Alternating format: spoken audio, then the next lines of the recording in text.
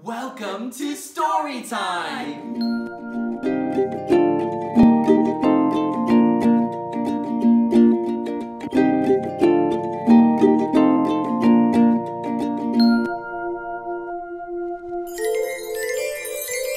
Good morning, everyone, and welcome back to our Wednesday story time with Riverside Performing Arts.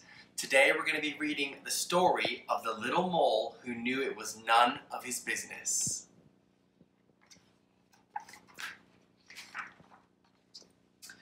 One day, the little mole poked his head out from underground to see whether the sun had already risen. Then it happened. It looked a little like a sausage, and the worst thing was that it landed right on his head. How mean! cried the little mole. Who has done this on my head? But he was so short sighted that he couldn't see anyone around. Did you do this on my head? he asked the dove who was flying past. Me? No! How could I? I do it like this, she answered. And splish, splish, a moist white blob landed on the ground right next to the little mole. His right leg was splashed with white. Did you do this on my head? He asked the horse, who was grazing in the pasture. Me? No! How could I?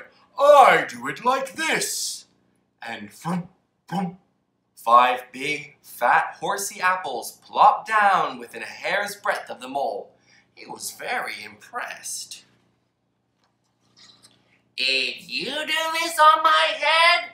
he asked the hare. Me? How could I? I do it like this, answered the hare.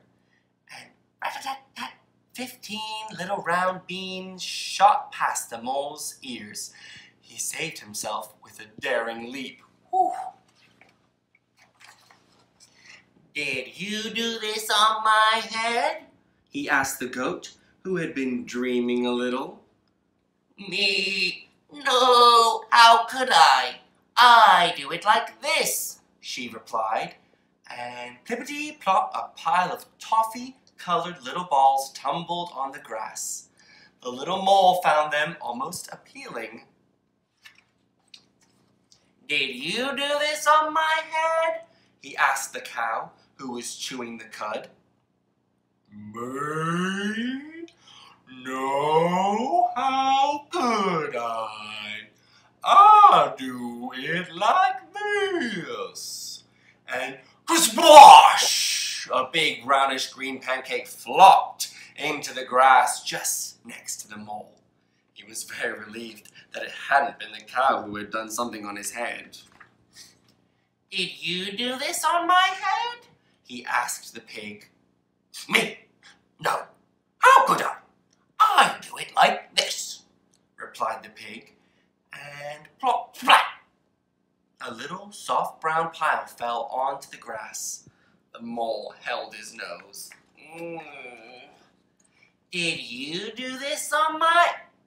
He was going to ask again, but as he came closer, he saw only two big, fat, black flies, and they were eating.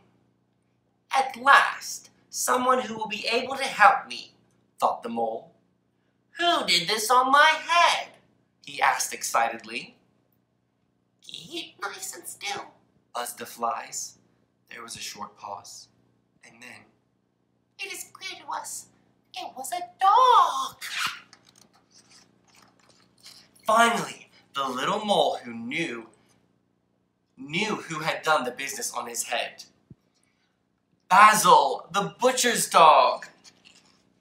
Quick as a flash, he climbed onto Basil's kennel, and blink, a tiny black sausage landed right on top of the dog's head.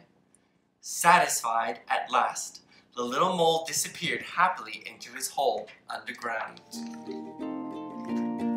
The end. Well, I hope you enjoyed today's story, even though it was a little bit yucky, but also really funny, even if your grown ups didn't think so. But we're going to do some brilliant activities off the back of our story today. Now, in the story, the mole went round and asked lots and lots of animals some different questions about whether or not they were the ones that pooed on his head. So we thought what would be brilliant is for you guys to write a list of 20 questions, or if you don't want to write them, you could just think of them in your head. But questions that you could go and ask all of the people that are living in your house with you at the moment. But the challenge is they have to be questions that you don't already know the answers to. That might be a little bit tricky because I guess the people who live in your house with you are people you might know really well. Maybe you might want to ask them what was their last dream they had or what's their favourite smell, something you might not have ever thought about before. So think of your 20 questions and go round and ask every single person who's living in your house with you the answers to their questions so you can get to know them a little bit better. The next activity that we'd love you to do is to come up with your very own animal.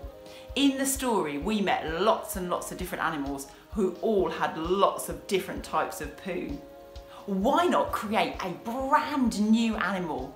Draw a picture of it, colour it in, turn it into a collage, be as creative as you possibly can. Give your animal a name, and if you want to, you can even come up with a different type of poo for your animal. It's going to be loads of fun, and we can't wait to see your pictures. Send them in to us at Riverside Performing Arts, and we'll see you next week at 10 o'clock for story time with Riverside Performing Arts.